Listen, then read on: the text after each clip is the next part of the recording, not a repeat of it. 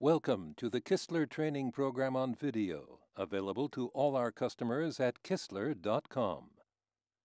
This tutorial explains how to correctly install a Type 6052 cylinder pressure sensor for optimum performance and results.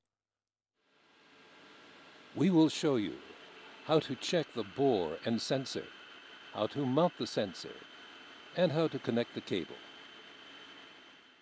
Only the correct sensor installation will guarantee that your signals are as precise as they should be.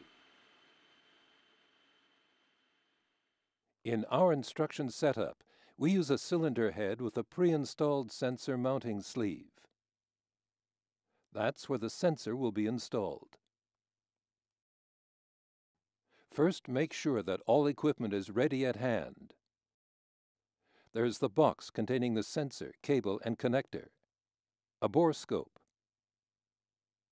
a mounting key, a torque wrench, special grease, the cleaner, and pressurized air. Now it's time for step one, the bore and sensor check. The drawing shows the sensor's position in the mounting sleeve. A clean sealing area is most important for a successful installation and flawless function of the sensor. That's where the bore scope comes in. It's absolutely vital to visually check the bore. If the sealing area is corroded or dirty, it must be cleaned using a reamer. Do not accept anything less than a perfectly clean sealing surface.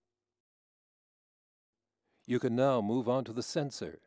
To conclude the initial check, you want to make sure that the cable connector is tight. A simple two-finger check will do. The protective cap at the free end of the cable may have to be removed to allow the connector to pass through the mounting key. Keep the electric contact clean. Do not touch it. This is the mounting key. We shall use it later for inserting the sensor into the mounting sleeve in the cylinder head. Again, make sure you don't touch the connector.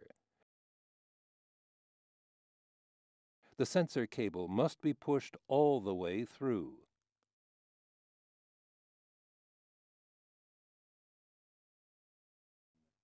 Applying some grease on the sensor thread will increase the lifetime of the sealing area and will also ease sensor removal once a measurement task is complete. Now comes the essential part of your installation procedure. You manually insert the sensor package. It may look a bit awkward, and it takes some time. Nevertheless, make sure the connector at the cable's end stays clean and untouched.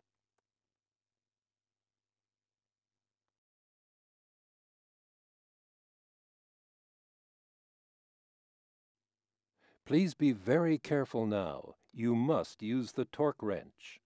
Adjust to 1.5 newton meters mounting torque. Never install a sensor without using the recommended torque wrench.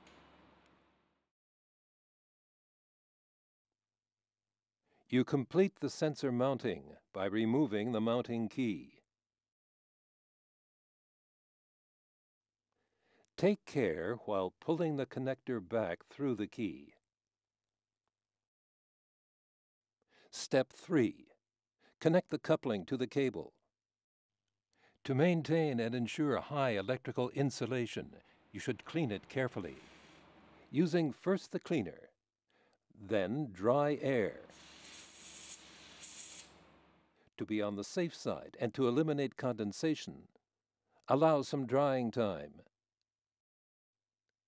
Your mounting task is